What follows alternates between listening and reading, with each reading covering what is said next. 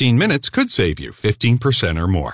My dad used to say that. Sure, yeah, it's from Geico. Yeah, whenever I would ask my dad for life advice, he'd sit me down and say, son, 15 minutes could save you 15% or more.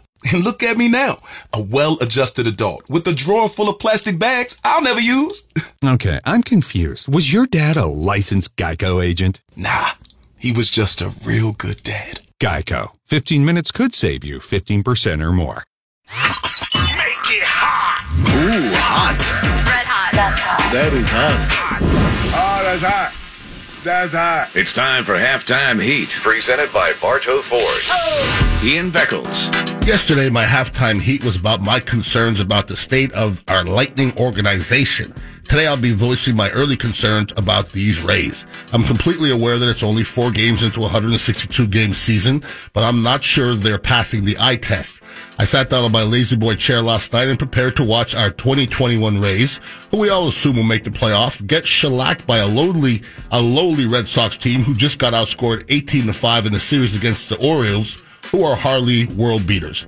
The Rays are always built around pitching, and the names that I saw on the bump for the Rays last night were hardly effective and hardly efficient.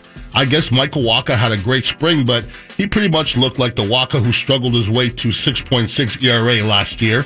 I've never heard of Chris Meza or Maza or Mazeltov, but regardless, six runs in two and two thirds ain't gonna get it done. The Rays usually figure out ways to manufacture runs, but they will undoubtedly need more from the plate from players like Tsutsugo, Yandy Diaz, to name a few. Kevin Kiermaier removed himself from the lineup early in the game with a left quadricep tightness. I've always said that KK is opposed to this team, but I unfortunately think he may be, this may be the beginning of the end. He, he depends on his legs and they're letting him down. The Rays were lucky to even score two runs last night. They may have got shut, shut out if Darwinzon Hernandez didn't walk in two in the eighth. And he had to do, all he had to do was throw strikes because the Rays did a lot of swinging and missing last night. The Rays are two and two, and it's only one debacle last night, but it did look worrisome. Work your magic, Kevin Cash, because I'm not convinced that is a contender yet. Go Rays. Jay Recher. I try not to get caught up in the quote unquote sanctity of the game. I love things that are out of the ordinary, things that you don't see every day. I enjoy things like Conor McGregor in the boxing ring or Bad Bunny in the WWE, but to be a little bit more specific, I absolutely love players playing out of position. We saw it yesterday when the Tigers blowout lost to the Twins. Detroit second baseman Harold Castro pitched the ninth inning. He didn't even give up a run. Good for you, Harold. This reminds me of some other great moments in sports history. How about Hall of Famer Wade Boggs on the mound throwing that knuckleball? Who could forget Magic Johnson filling in for Kareem Abdul Jabbar at center in Game 6 of the 1980 NBA Finals and scoring 42 points en route to a 4 2 series win over the Sixers? Or how about Doug Flutie drop kicking an extra point?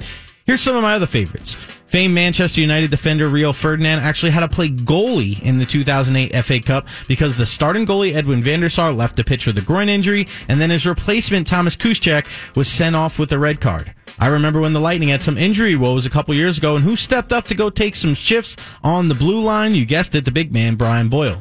I love seeing Julio Jones or Calvin Johnson playing in the secondary to defend a Hail Mary, and who doesn't love seeing guys like the Fridge or Vita Vea playing offense, right? Just another reason why sports are so great. Sometimes you see things you never expect to see. Who did I miss? I'm sure there's a bunch more. Let us know. 15 minutes could save you 15% or more. My dad used to say that. Sure, yeah, it's from Geico. Yeah, whenever I would ask my dad for life advice, he'd sit me down and say, son, 15 minutes could save you 15% or more. And look at me now, a well-adjusted adult with a drawer full of plastic bags I'll never use. Okay, I'm confused. Was your dad a licensed Geico agent? Nah, he was just a real good dad. Geico. 15 minutes could save you 15% or more.